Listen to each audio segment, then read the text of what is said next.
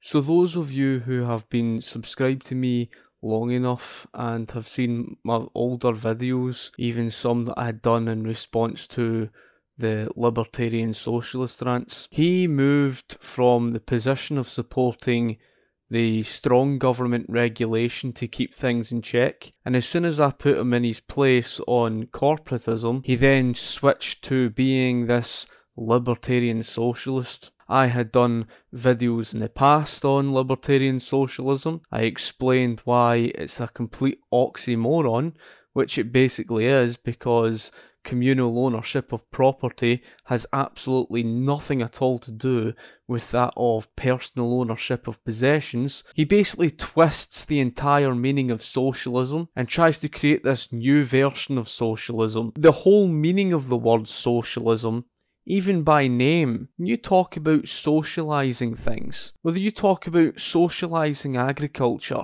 or socialising healthcare or socialising education. It doesn't matter what you socialise. If you socialise something, you're politically centralising it. He doesn't even understand his own ideology. Anyway, this boy Cameron, otherwise known as Libertarian Socialist Rants, comes up with a number of these arguments in his video on the top 10 arguments of capitalism, and he mentions about the education system. Somehow, this collectivization and politically indoctrinating students in this collectivized education system somehow has something to do with capitalism. Well, that goes to show you that he doesn't even understand the difference between capitalism and socialism. Because socialism, again, is about political centralisation, and that state education system where the state gets to collectivise education, that is socialism. Uh, free market in education is where the consumers themselves have the free choice over what they learn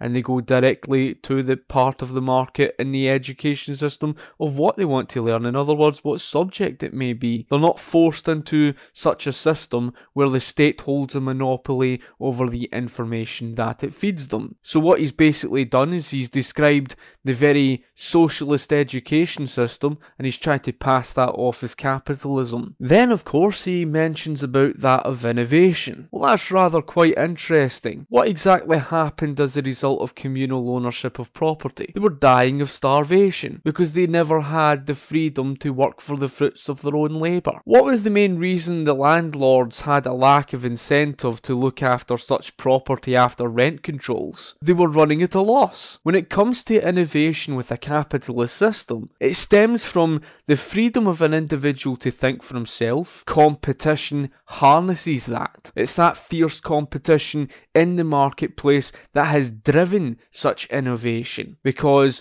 of the threat of a competitor overtaking. And that other business, perhaps, could be in the face of, you know, the threat of losing business. What he's basically trying to do is, he's basically trying to say, here's capitalism, and instead he's pointing out what is corporatism, and he's not directing the argument to the free market. How about he actually make a video and try and refute the free market economy? And yes, it is the free market that harnesses economic development because the free market economy is not faced with the economic calculation problem. So, the very reason why you're seeing such vast waste of resources today, it's not because of capitalism, that's because of the absence of capitalism. Capitalism is not some state directed economy. And he came up with absolute crap. He, he loves to do this all the time. He just comes up with something, makes it up out of thin air, states it as if it's a fact,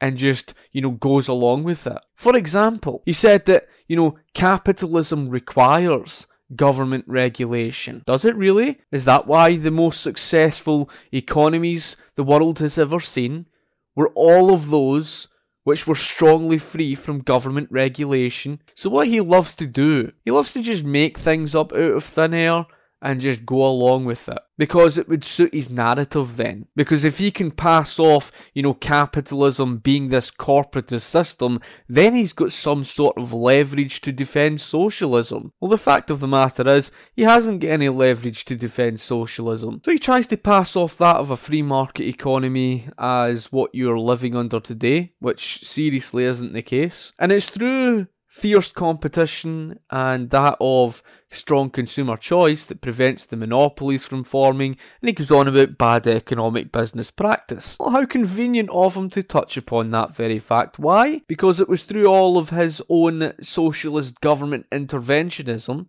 that resulted in all of the bad economic business practice. For example, the banking crisis. All thanks to his socialist government interventionism, what did you end up seeing? Bad banks becoming too big to fail. And yes, the banks in the United States and Great Britain were both overregulated, were being subsidised by the taxpayer. In other words, they became too big to fail. And as a result of all of the socialist government subsidies, what did you see? Well, you saw legally protected fraud. He then goes on about capitalism and how it's only been around for 200 years. The truth of the matter is, capitalism has been around since the days when barter first began thousands of years ago. Even when you go back to the ancient Greece, when there was the arguments between, you know, Aristotle, etc., and Plato and, and whatnot, and the arguments on individualism and collectivism, then yes, individualism was in reference to capitalism, and let's not forget the very fact that it was known as meritocracy. And that's what capitalism's all about, a system rewarding on merit. The truly magical part is, however, he then goes on about that of the living standards argument and then touches upon the Soviet Union and Nazi Germany. But hold on a second here. How on earth did either of those economies uh, get passed off as anything successful regarding improvement of living standards. Not only were both economies being propped up and financed by the West, both of these economies may have had high GDPs, but that didn't make them successful in improving the material standards of living of the masses. In fact, rather quite the opposite. You saw high inflation in the likes of Nazi Germany. It was a disastrous failure. When you talk about living standards, we're talking about the material wealth. So, in order to improve the material wealth of the masses, you would need to pr- produce that meets the demands of the consumer. That's not how socialist economies worked, such as that of the socialist fascist regimes like Nazi Germany or the Socialist Soviet Union. It was practically centrally planned. The only difference between Nazi Germany and that of the Soviet Union, one collectively owned the means of production through heavy nationalisation, and the other completely controlled the means of production collectively through strong government regulation over the private sector. That was the only difference. And I really don't need to go into too much detail for why there is no alternative to that of the capitalist system, because capitalism is efficient. But you have to love how he shows a picture of nuclear bombs being let off, etc., as if to try and pin this off in capitalism. Capitalism is the only system that works, it's efficient, it's not faced with the economic calculation problem or the knowledge problem, whereas when you talk about socialism, then yes, it's disastrous. You see, there is no alternative to capitalism. You, have seen fascism, it's been an absolute disaster. You've seen communism, it's been an absolute disaster. No matter where you turn to in any form of collectivism,